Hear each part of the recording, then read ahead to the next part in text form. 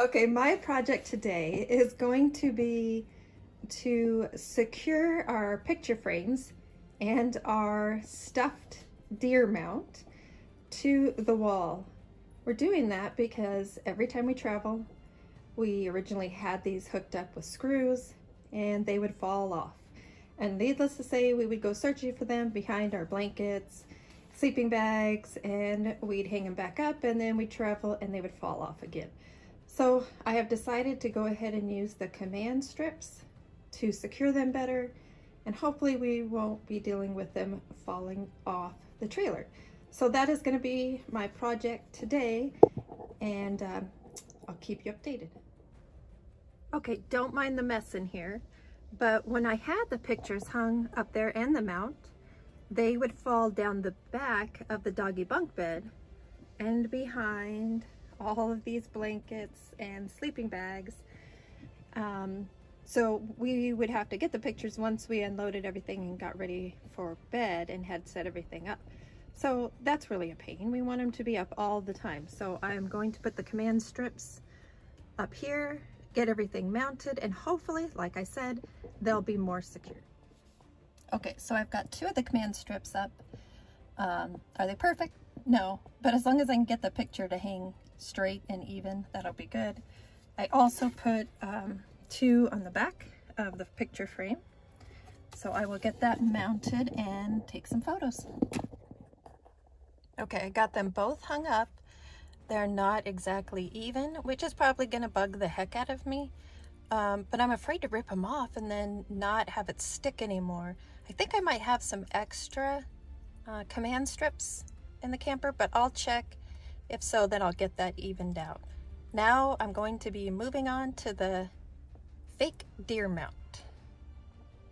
Okay, so I got them all hung up. It's a little bit of trial and error, trying to make sure that they were even.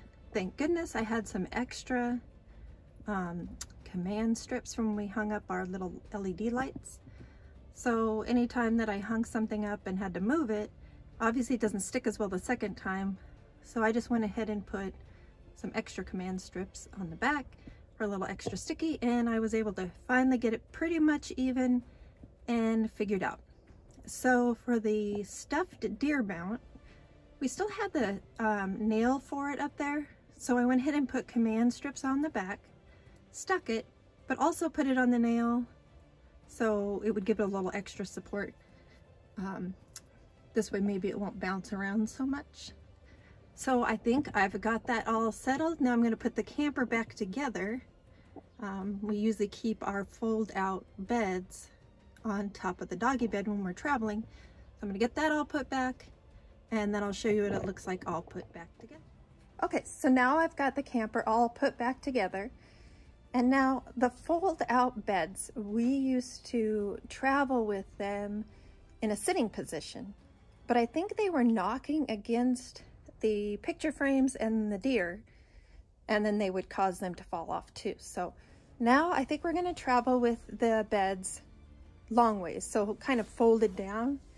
That way they stay out of the way of the hanging uh, items up there. So here's what it's supposed to look like, all put together, and how we keep our uh, sleeping bags and sleeping cushions and things tucked under the doggy bed or seating area. And then we still have our shelf. I've actually hung uh, the new light that we got up there on our rack. And so now you kind of see what it looks like when we're traveling and how we keep everything tucked. We got our canopy. Uh, the only thing that's missing out of here is our toilet and our, our doggy bed, or I'm sorry, our doggy bag, our travel bag but everything else is pretty much in here and ready to go. Okay, and one last thing, I'm not sure if we mentioned this, but if you're looking to build a kitchen in the back like we did and add uh, curtains to cover the ugly objects tucked underneath, um, you what we did originally is we bought some uh, command strips, but they have a hook in them, and then we would just put the curtain rod in the hook, but they kept popping off. So I have to give our oldest son credit. He came up with the idea to, to drill like a screw. So I'll get under here. a screw um, coming out of this side, a piece of wood there, and then just to mount the curtain rod on the screw on both sides. So that has made a world of difference.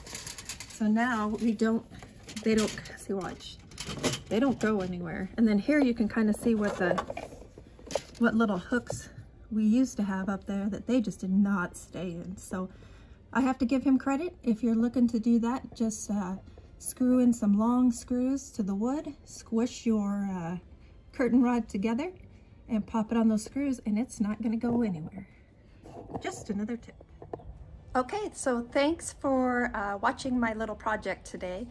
And uh, sorry if I sound a little out of breath every time I talk, but my nose is super stuffy and I'm hoping it's just allergies and not the COVID. So uh, till next time from Stumbles and Fumbles, take care.